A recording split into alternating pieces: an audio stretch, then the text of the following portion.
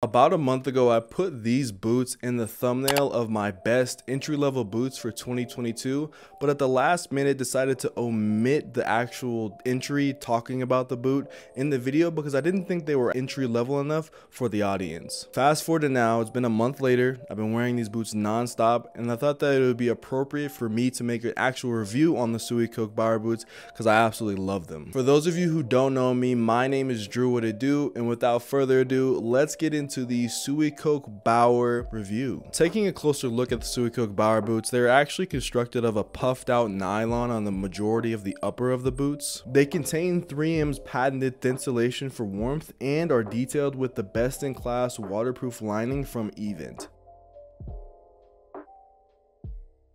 The 3M thinsulation layer is made up of thin microfibers that trap warm molecules within the enclosure of the boot to help combat cold feet during the wintertime. And the eVent lining was introduced originally in 1999 and is implemented within this boot's technology. eVent lining is actually the world's first air permeable 100% waterproof membrane, which is incredible. So essentially it blocks out water from getting into the boot unless it enters from the top essentially. Another one of my favorite things about the technology implemented within the Bower boot has to be Suicoke's own proprietary EVAB sole or insole, which is essentially just an EVA foam mixed in with antibacterial coating, which allows for your foot to not accumulate so much bacteria, prevents from stink, and prevents from just, just bacteria being in the foot. And even with all this technology in the boot, I think you'd be surprised by how lightweight they are. They are incredibly, incredibly lightweight. With all that being said, and I don't know, there's just something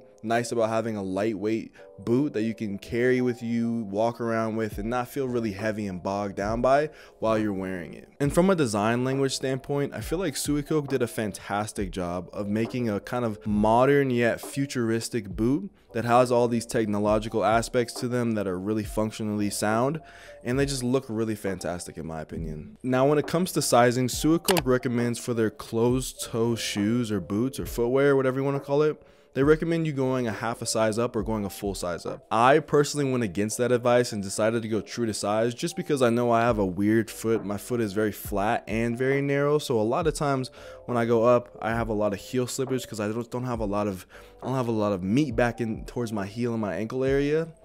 But for the majority of people, my recommendation when it comes to sizing for these boots is if you have a wider foot or a normal size foot, I would go up a size because while I did go true to size, it was a bit snug. Not to the point where I was uncomfortable, but to the point where after a day of wear, I definitely noticed it. It definitely did make me just think about it while I was wearing it. While I do say that, I have worn these all day, like a New York City day, walking around 30,000, 20,000 steps. I've also worn them, you know, in the snow and just different climates in different terrain and they've held up beautifully and I think the sizing hasn't really affected me too much. I'll say it again in case you missed it. Go up a size, especially if you have a regular or wide foot, and I think you should be okay.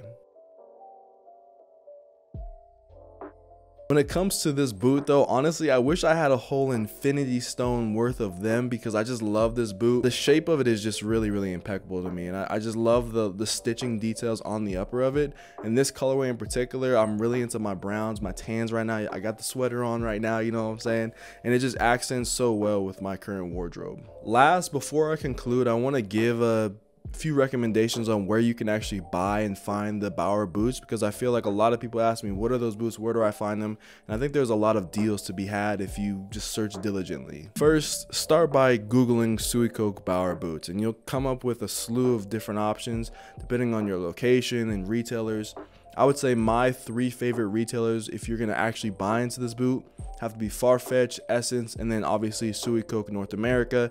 And if it's not Suicoke North America, then just find the boot or find the Suicoke website that correlates with your region. You should be able to find these on sale or be able to find just different varying prices depending on your location and the retailer you choose. Plus, if you have any gift cards or whatever, you can obviously use them to help buy these boots. Um, they should you should be able to get them for below retail, but if you can't, I think their retail value is appropriately associated with the value you get for the actual Bower boots, right? I think if I remember correctly, I got these actually through Suicoke. Um, they might be sold out in like Suicoke North America, but like I said, check other retailers.